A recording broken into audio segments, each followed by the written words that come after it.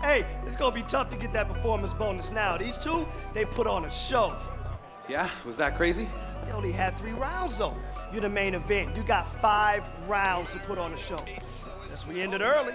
I'm ready for whatever. Prepare for the worst, expect the best, right? Damn right. All right, then let's go. Let's do this. Let's get it. Yeah.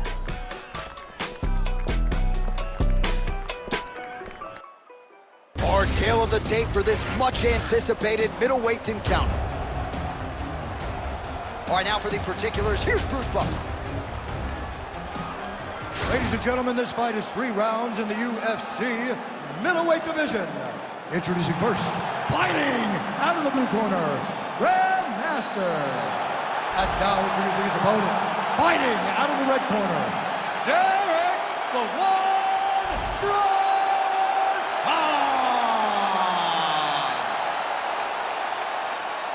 Ready fight? Ready.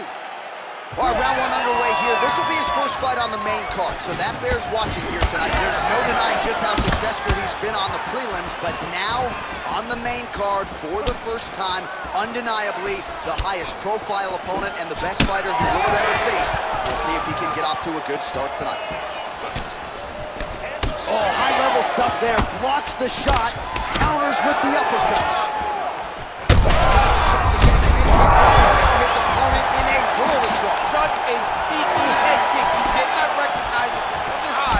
High, and now he's got him hurt bad.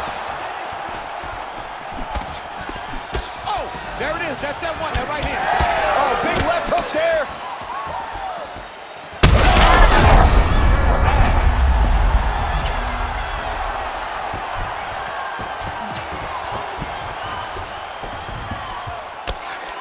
Looks like he's trying for a submission now.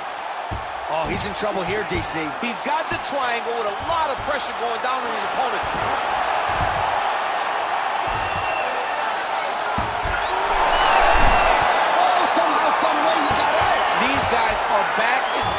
Submission defense wins this transition. Now some spacing as they exit the clinch. Well, MMA is a constant exercise in risk mitigation, right? But it would seem to me that if he really goes for it offensively, you can get him out of there. Well, he's got him hurt. He's got him hurt. He's got him hurt multiple times in one round. It looks like this fight should be over by now, but his opponent's still standing, and I think that speaks to the durability of the guy standing in front of him. Oh,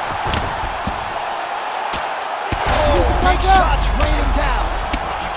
Dean steps in. Holy smokes! What a fight! So what a moment in this man's career. A huge finish in front of a capacity crowd. After party's gonna be on fire. How about it? I mean, I'm just sitting here stunned because to watch a young athlete have a performance like this was really amazing. The finishing instincts, his ability to close the show, it was next level. It was amazing, John.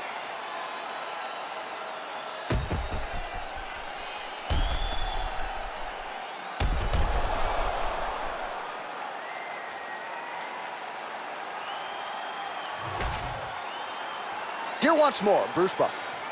Ladies and gentlemen, referee Herb Dean has called a stop to this contest at 2 minutes, 59 seconds of the very first round. Declaring the winner by TKO Grandmaster. All right, so a nice win for this fighter here tonight. His coaches have always said when the stakes get higher, his performances will get better, and that's exactly the way it played out here tonight. It was his first main.